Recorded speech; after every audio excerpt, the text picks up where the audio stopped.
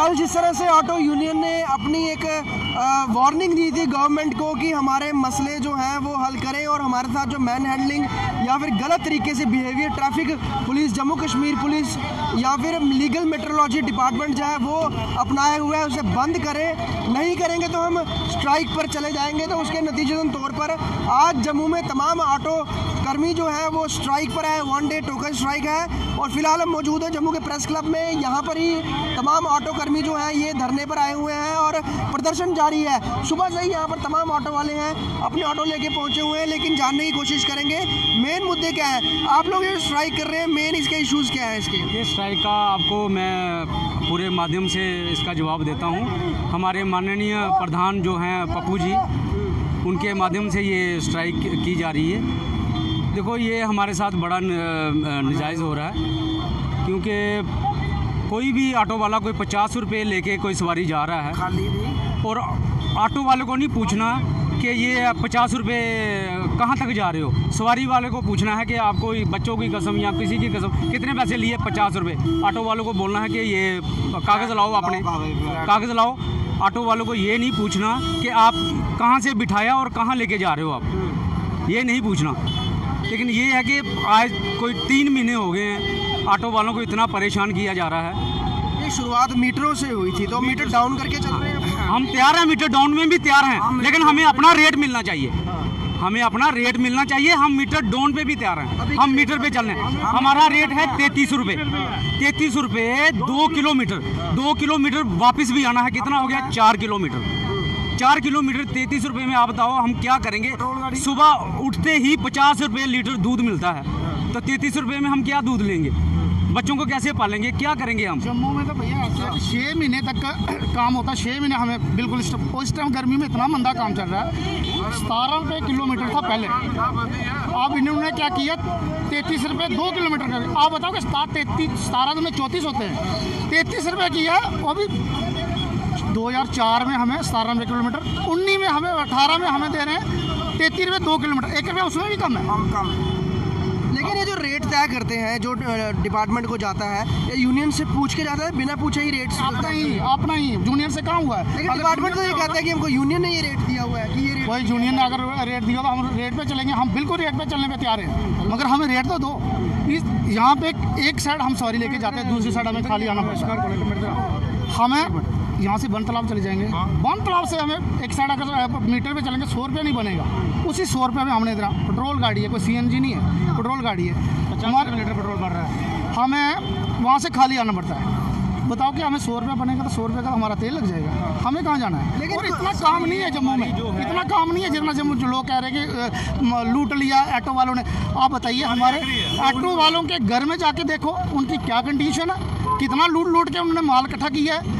तो यार हम इतनी मुश्किल से घर चला रहे हैं। हम तो मैं कह रहा हूँ किस घड़ी में हम ऑटो में आ गए हैं? आज पछता रहे हैं हम। क्या हम अपने बच्चों को भी ऑटो में ही रखेंगे? जो जो हम लूट की बात कर रहे हैं ये कुछ मामले आ, आर्मी वाले ही ज़्यादा बोलते हैं जो कि बताया जाता है कि टीसीबी से रेलवे स्टेशन से काफ़ी ज़्यादा चार्ज कर दिया जाता है। आपको? मेरी बात सुनिए आज कल कौन सा इंसान आर्मी आप आर्मी की बात कर रहे हैं। आर्मी में जो भी हैं पढ़े लिखे इंसान हैं उनको पता नहीं है कि ऑटो में जाना है कितना पैसे देने हैं क्या करना है।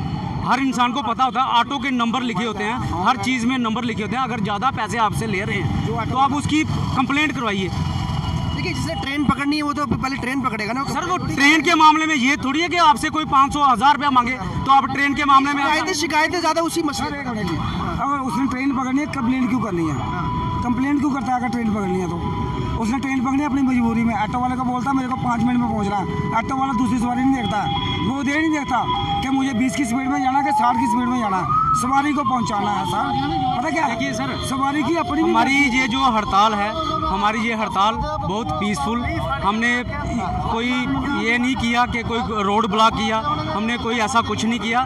ये चल रहा है सब कुछ चल रहा है अच्छा चल रहा है। हमने कोई रोड नहीं ब्लॉक किया हमने कुछ नहीं किया।